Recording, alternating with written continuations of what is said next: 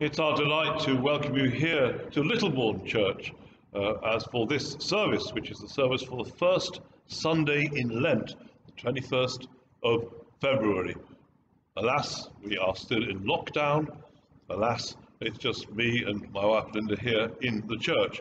But uh, you are with us in spirit, all those of you who are following from uh, from the other churches in the benefice, from Wingham, and indeed uh, friends from far and wide who uh, tune in to this service. I do hope it will uh, be something that you really share in, that you've got the uh, access to a copy of the order of service. It's there on the on the Benefice website, and then many of you receive it by email. And there are, of course, as always, things that we share and that we join in. So we look forward to making this Eucharist together. Our first hymn, Guide me, O thou great Redeemer, pilgrim through this barren land.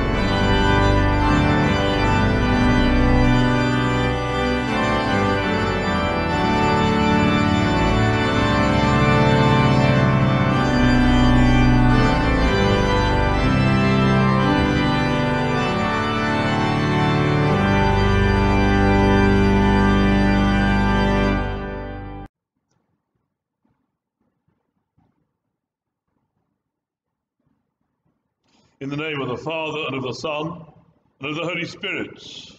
Amen. Grace, mercy, and peace from God our Father and the Lord Jesus be with you all. And also with you. We prepare to worship God. Almighty God, to whom all hearts are open, all desires known, and from whom no secrets are hidden. Cleanse the thoughts of our hearts by the inspiration of your Holy Spirit, that we may perfectly love you and worthily magnify your holy name. Through Christ our Lord. Amen. Compassion and forgiveness belong to the Lord our God, though we have rebelled against him. Let us then renounce our willfulness and ask his mercy by confessing our sins in penitence and in faith.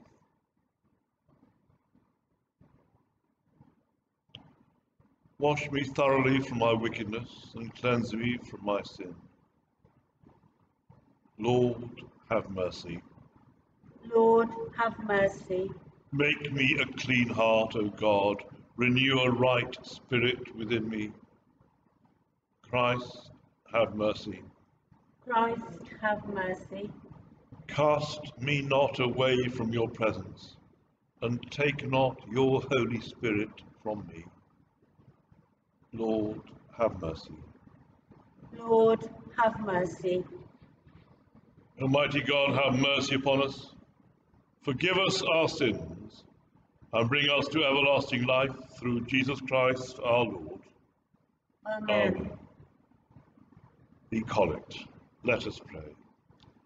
Almighty God, whose Son Jesus Christ fasted forty days in the wilderness, and was tempted as we are, yet without sin. Give us grace to discipline ourselves in obedience to your Spirit, and as you know our weakness, so may we know your power to save. Through Jesus Christ, your Son, our Lord, who is alive and reigns with you in the unity of the Holy Spirit, one God, now and forever. Amen. Amen. Reading is taken from the book of Genesis. Our first reading for today is taken from the book of Genesis, chapter 9, verses 8 to 17. Then God said to Noah and to his sons with him, As for me, I am establishing my covenant with you and your descendants after you, and with every living creature that is with you, the birds, the domestic animals, and every animal of the earth with you, as many as came out of the ark. I establish my covenant with you, that never again shall all flesh be cut off by the waters of a flood, and never again shall there be a flood to destroy the earth. God said, This is the sign of the covenant that I make between me and you and every living creature that is with you for all future generations. I have set my bow in the clouds, and it shall be a sign of the covenant between me and the earth. When I bring clouds over the earth, and the bow is seen in the clouds, I will remember my covenant that is between me and you and every living creature of all flesh, and the waters shall never again become a flood to destroy all flesh. When the bow is in the clouds, I will see it and remember the everlasting covenant between God and every living creature of all flesh that is on the earth. God said to Noah, This is the sign of the covenant that I have established between me and all flesh that is on the earth.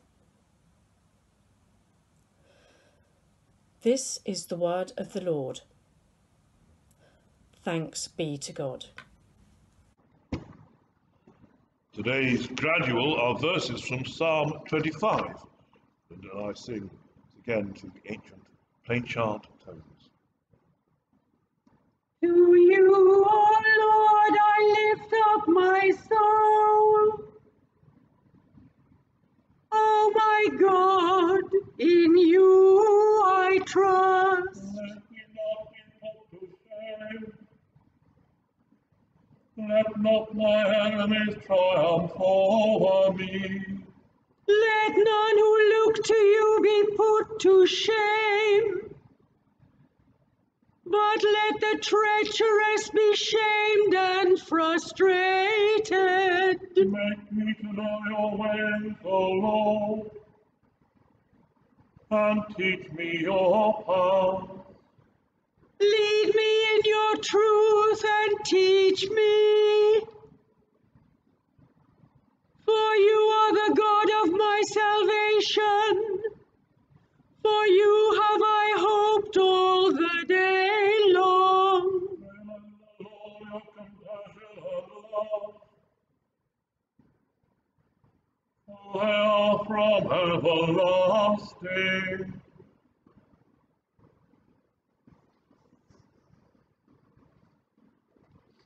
Praise to you, O Christ, King of eternal glory. The Lord a great God. Oh, that today you would listen to his voice. Harden not your hearts. Praise to you, O Christ, King of eternal glory.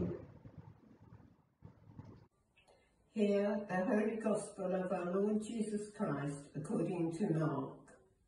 Glory to you, O Lord. In those days, Jesus came from Nazareth of Galilee and was baptized by John in the Jordan. And just as he was coming up out of the water, he saw the heavens torn apart and the Spirit descending like a dove on him. And a voice came from heaven, You are my Son, the beloved, with you I am well pleased. And the Spirit immediately drove him out into the wilderness.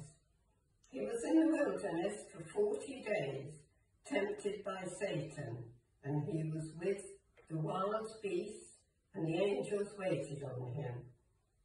Now after John was arrested, Jesus came to Galilee, proclaiming the good news of God, and saying, The time is fulfilled, and the kingdom of God has come near. Repent and believe in the good news. This is the gospel of the Lord. Praise to you, O Christ. Let's not uh, make a song and dance about it. This first Sunday in Lent has as its theme the temptation of Christ in the wilderness. We all know that story, that great story at the very beginning of Jesus' ministry after he's been baptized. He goes into the wilderness for 40 days and 40 nights, and the devil tempts him. There's three great temptations. Uh, the first is shown in its its gory detail in the, the marvelous medieval illustration I put at the head of this order of service. There you are, there's the devil, there's Satan tempting Jesus to turn uh, stones into bread. But wait a minute, this is the year of Mark. We're following Mark's gospel, not Matthew or Luke. They're the ones who tell us uh, the, the full detail of the 40 days in the wilderness. Just remind ourselves how, sorry, Matthew and Luke, remind ourselves how Mark, this year's gospel, how Mark tells it. Look, it's as simple as this. The Spirit immediately drove Jesus to the wilderness. He was in the wilderness for 40 days, tempted by Satan. He was with the wild beasts, and the angels waited on him. That's it. Nothing else. No detail. This is Mark. This is the essence of Mark. Mark doesn't hang around. Mark doesn't make a song and dance about anything. For Mark, one thing happens, then the next thing, then the next thing. And it may be that we can learn from that, not making a song and dance about it. This Lenten period we just entered, this uh, when we, as it were, reimagine ourselves being in the wilderness for the 40 days that Jesus was in the wilderness at the beginning of his ministry. Just as Jesus was preparing for his years of ministry, so we, of course, are preparing for the climax of the Christian year in Holy Week with the death of Jesus and then Easter, of course, with the resurrection. It's a time of preparation for us, as it was then, a time of his preparation for his ministry. But, as I said, let's not make a song and dance about it. One of the problems with keeping Lent, I don't know how rigorously you keep it or don't keep it, that's it's up to you. But I, what I think one of the problems is that we do tend to make it something very dramatic. It's a big deal, Lent. It's a big deal, all this giving up that I do, all this denying myself.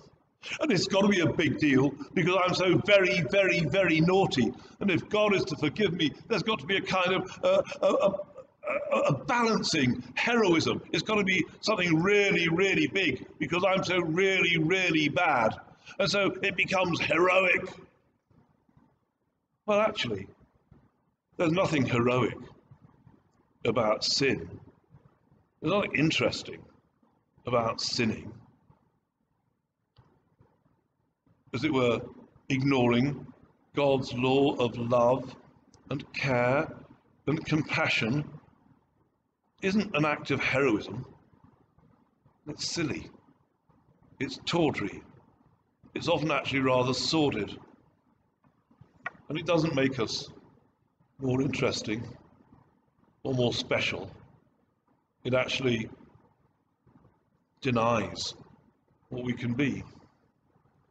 One of the points about the wilderness, the desert, is a place of scouring. You know, those desert winds or the sand dunes blowing about. It's a place where we're cleansed. When the truth that's underneath is laid bare. The truth is wonderful because the truth is the women and men that God made us to be, not overlaid with all the junk that we are all so good at overlaying it. Mark doesn't make a song and dance about the temptations in the wilderness. It's just simple. It's the next thing that happened to Jesus. It took place. And then he went on to the next thing after that. I was kind of assumed that the desert, the, I've never been to the desert, by the way, uh, it was sort of a fantastically silent place, you know, like a 40 day retreat where there's just uh, you and possibly the, the bird song. Not at all. People don't go to these places. Tell me, I said, the desert, very noisy. There's a wind, there's things rattling about. It's a noisy place. It's not silent. It's full voices, if you like. For Jesus, the voice is the voice of the devil. But our tempting voice, the voices of temptation, I think don't come from outside, they come from inside. And we might feel that this year, to be invited to spend 40 days, as it were, in isolation in the wilderness, is a bit rich because it's kind of what we're doing all the time. We've been isolated for almost a year now, living solitary lives, whether we want to or not, not out of our own heroic sanctity and holiness, but because we've got no choice if we're going to stay alive. So, as it were, now that Lent has come along, we're pretty used to it. Practiced in this sense of isolation. But without making a song and dance about it, it may just be a good idea to listen harder to those voices of temptation which don't come from outside, but come from within. The temptation to not take other people as seriously as we take ourselves. The temptation to not really care very much about others because we're in a pretty miserable state, aren't we? Have I actually got any sympathy left for anybody else? Because my own life is so miserable. Well, if that's the voice from inside, the voice from outside is the voice of Jesus and the voice of God saying, not try harder, do better, give up more,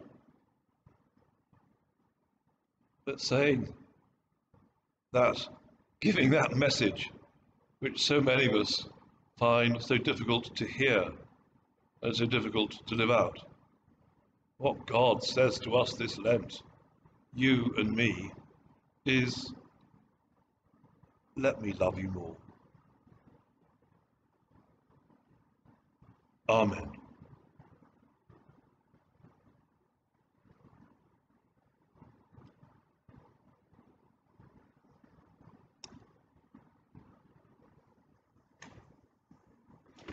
We proclaim the faith of the Church in the words of the Creed.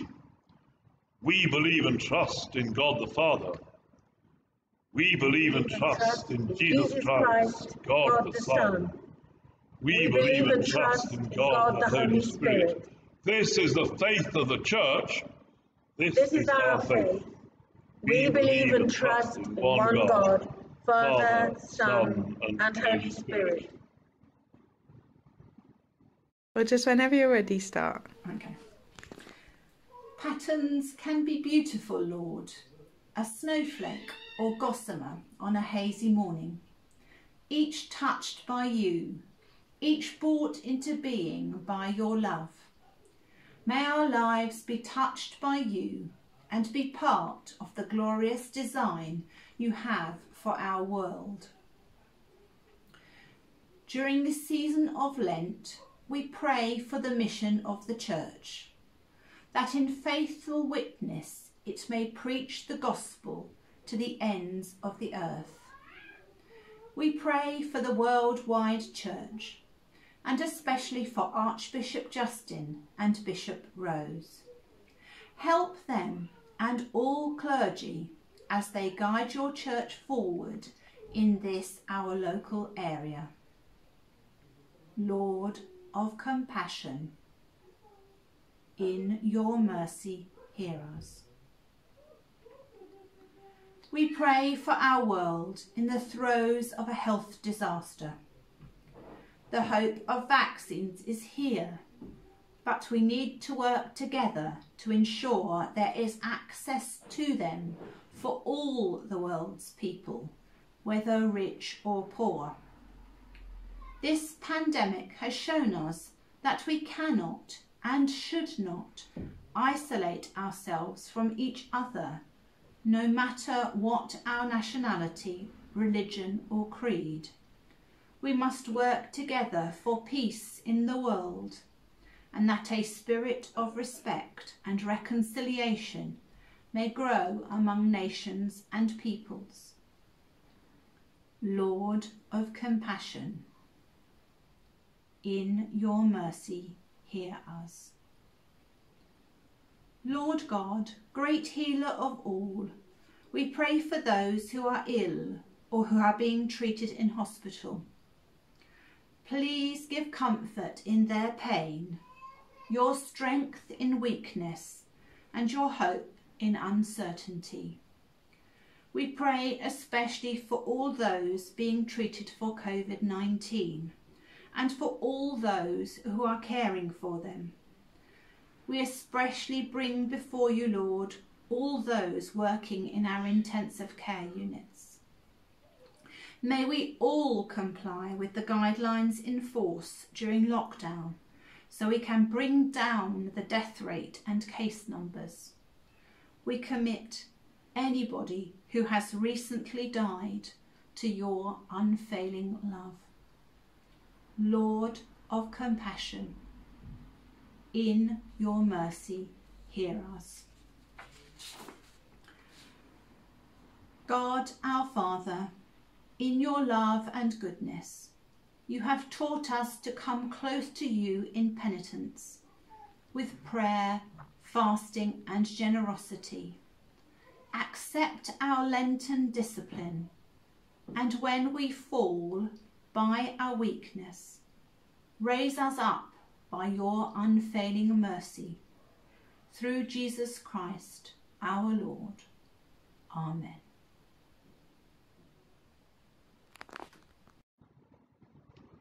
the peace. Since we're justified by faith, we have peace with God through our Lord Jesus Christ, who's given us access to his grace. The peace of the Lord be always with you. And also with you. Peace be with you.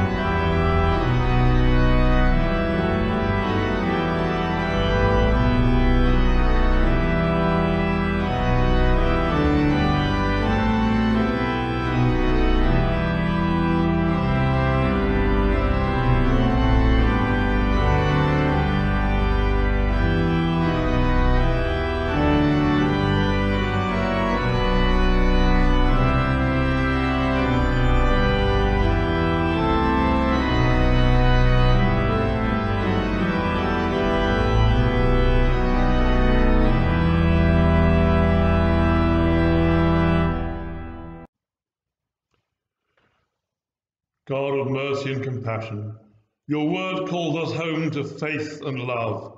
Accept all we offer you this day in the name of Jesus Christ the Lord. Amen. Lord, cleanse me from my sin, wash me from my iniquity, that I may worthily approach your holy altar through Christ our Lord. Amen.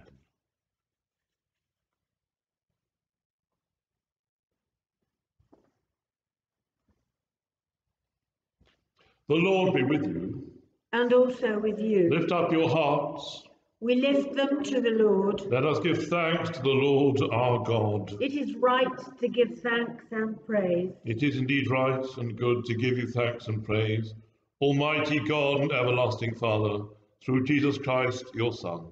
For in these forty days you lead us into the desert of repentance, that through a pilgrimage of prayer and discipline we may grow in grace and learn to be your people once again. Through fasting, prayer, and acts of service, you bring us back to your generous heart. Through study of your holy word, you open our eyes to your presence in the world and free our hands to welcome others into the radiant splendor of your love.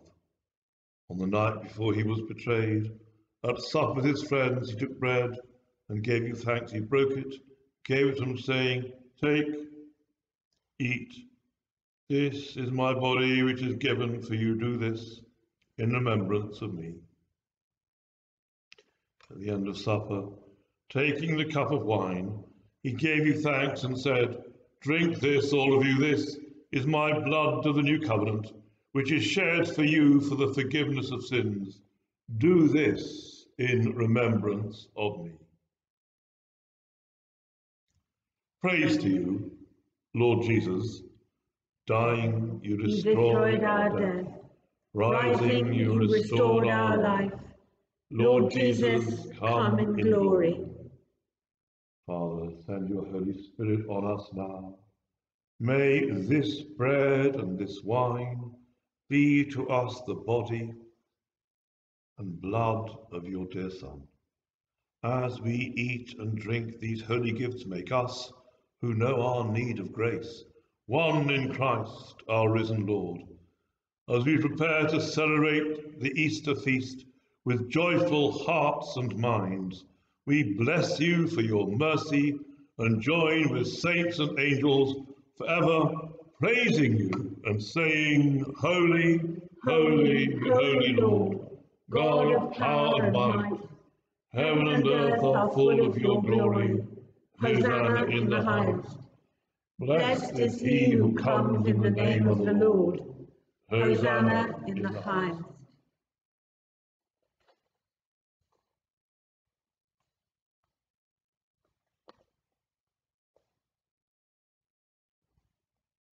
As our Saviour Christ has commanded and taught us, we are bold to say together, Our Father, who, Who art in heaven, hallowed be thy name.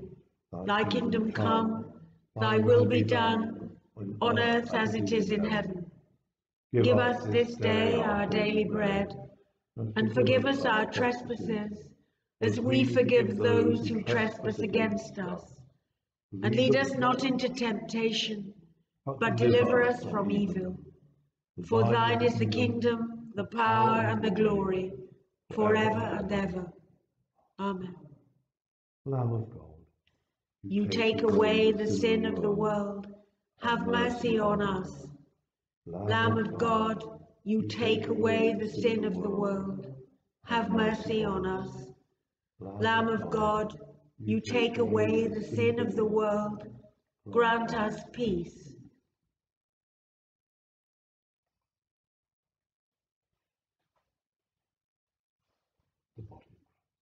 Amen.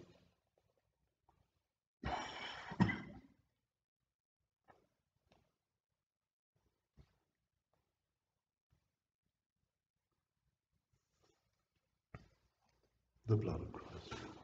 Amen.